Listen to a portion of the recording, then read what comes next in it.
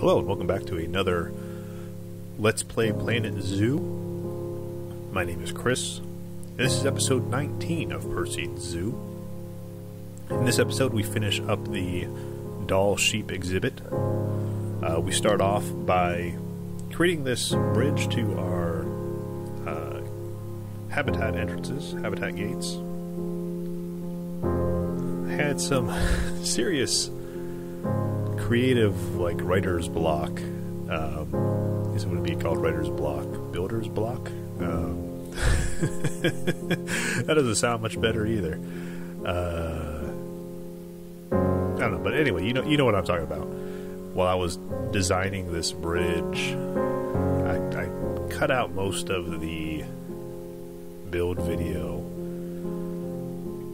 It just wasn't going the way I wanted it to. Um, I, I was trying a couple different ideas. The first idea I had was kind of continue this, um, and you don't get to see it here, but the first idea I had was kind of continue the uh, those curved pieces. You know, kind of continue them around, make them a little bit longer, kind of like a river effect. You know, kind of rolling.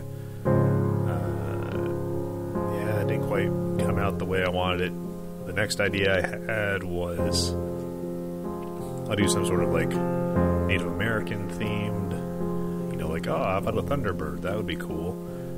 Um, yeah, you start seeing here the first attempt at it, um, making these kind of rolling out. I couldn't quite get the angles right. Um, yeah, it just it wasn't looking right. Least it wasn't looking anything like I, I wanted it to. Um, and then, like I said, the next idea was try to create kind of like a skeletal structure of like a wing and then kind of color it, you know, kind of like a Thunderbird style. But then it's like, well, that doesn't really fit with anything else I've built in this area. I mean, I want a little bit of a transition. You know, I want the Arctic to feel different but the same. Um, so I'm kind of creating, you know, using the same, you know, wood and metal here. Now we just kind of jump over to the final or more or less the final idea. So it's, it's going to be kind of this wooden structure uh, supported by these, um, I don't know, metal Q-tips. That's what they look like. They look like a metal Q-tip. Um, what do they call it? New World Sunshade Copper Post. Um, I guess you're supposed to put the, the sunshade piece on top of these. Uh, but they look like giant metal Q-tips. Uh, but for this purpose, they serve, or for for this one, they they serve a purpose of you know they have that little nub on the end that would act, kind of act like a cap to the uh, the structure here, and then you know kind of as an anchor point down below. So, so yeah, um, it's not the best bridge I've made. I still think it looks pretty. You saw a little bit there uh, as we just kind of panned out, like the wing, the skeleton wing structure I was trying to make. Which I think if I would have gotten that to work, it would have looked really cool. But it was starting to just kind of look cheesy and lame. Yeah, there it is again. Um, we don't really have a whole lot of like metal pieces, uh, which is really kind of what I wanted for. At least nothing in, uh, along the lines of like the metal so we have like these wood beams here, um, and they have a nice kind of texture to them, nice kind of look and feel, um, and they kind of blend in when you need them to be a little bit longer or a little bit shorter than what they, uh, you know, the two meter, four meter, eight meter sizes that were given by default. But for the metal pieces, we just kind of have lot of these generic are not really generic, but all these kind of for a specific purpose. We don't have generic versions, um, so you kind of have to get a little bit more creative and a little bit. They don't really blend as well. Like if I wanted for like these Q-tip ones, um, I think they're like four meters or something like that. Um, so you can flip them on their side and get eight meters. You know, anywhere between four and eight meters that way, but if I wanted, you know, 10 meters, well, I've got this cap at the end. I can't really fix that. Um, so it, it kind of makes it a problem when I want to, you know, have a little bit longer because I really wanted to have that structure go all the way down, but it, it, it looks okay. I mean, I'm not complaining about it. It's not what I wanted it to be. Um, it is like half the video though, so I should talk about it. Um, but anyway, it it worked. Um, yeah, so now just jumping over right into um, finishing up the Dall sheep exhibit here.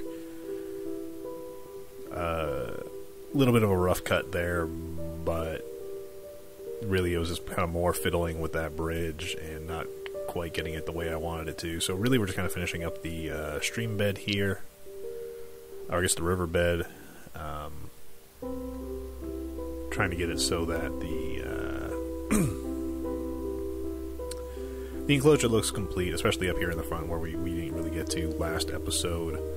Uh, so I'm just kind of making a smooth, rocky looking uh, riverbed here, you know, where it looks like the water comes rushing down the mountain from where the timber wolves are, and then it kind of comes around this curve and widens out and slows down. Um, so I just wanted to kind of give it that look, but it also kind of make it look like it's still kind of carved out and eating out this uh, this landscape too. But then it just kind of hit a large flat rock, you know, under underneath the soil here, and that's kind of why it's spread out, through here.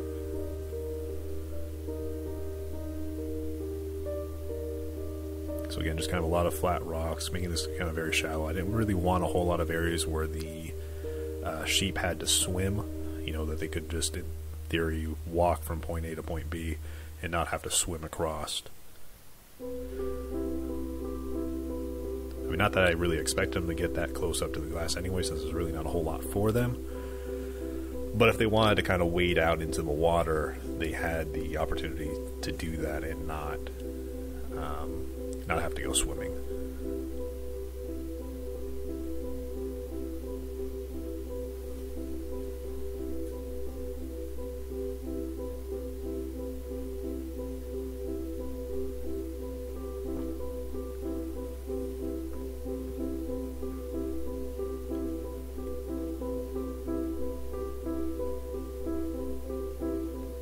This is, episode is really a lot shorter.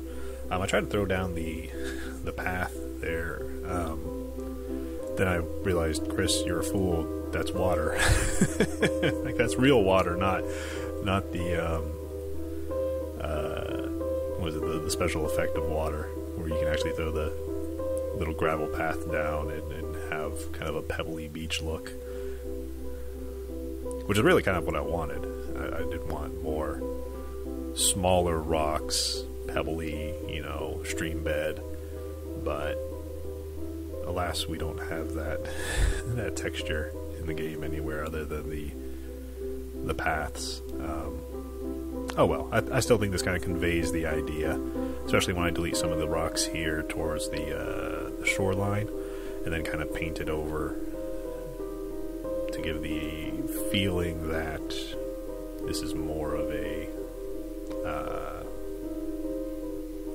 you know, like shallower, full of pebbles. You know, this is where the water is not moving as fast, so it's depositing a lot more. You know, this is where stuff gets deposited, essentially. You know, it's not being kind of pushed out. Those smaller uh, pieces of rock are not, you know, just getting washed away. This is where they get washed too, um, if, if that makes sense. So here we kind of punch out the hard shelter. Uh, we just kind of make a little cave uh, by just kind of knocking out some of the uh, horizontal rocks. You know, still kind of following where we have our striation. We didn't really add anything. We're going to add some rocks in here, just of course to give it texture. But on the outside, you know, make it look like you know maybe there was a a softer piece of rock in here that you know eroded a lot faster and then created this cave structure.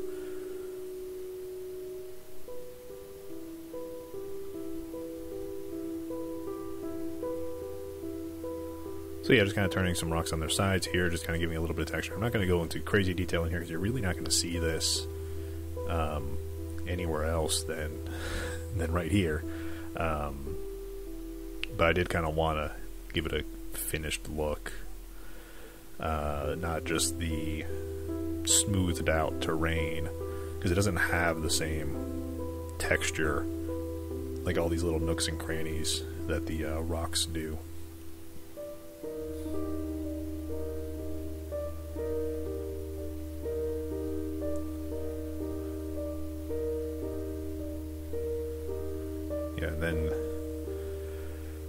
Just making sure that the sheep can actually get in here. Uh, I'm going to drop down a little bit more foliage to kind of hide this entrance. But uh, I wanted to make sure that the sheep could, in fact, get into their shelter and that I had not just built all that for, for show. uh, yeah, just kind of dropping these trees around, again, to kind of hide it, make sure that the animals can still get in there but I didn't want it to be kind of a visible spot from um, from the ground here.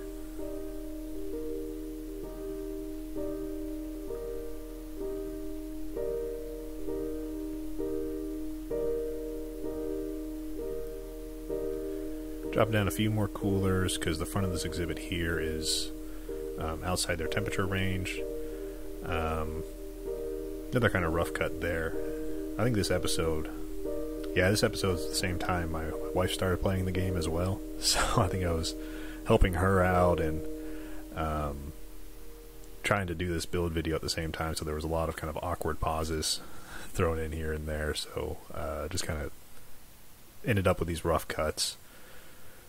But but anyway, this is this is kind of what the final look of the exhibits turning into. Um, did have a lot more coverage than what we needed, so I did kind of try to fix that a little bit. I also moved some of these willows off the um, off the rocks and actually kind of putting them where they would grow. You know, willow's going to grow by water, um, or at least where there's frequent water um, access for them.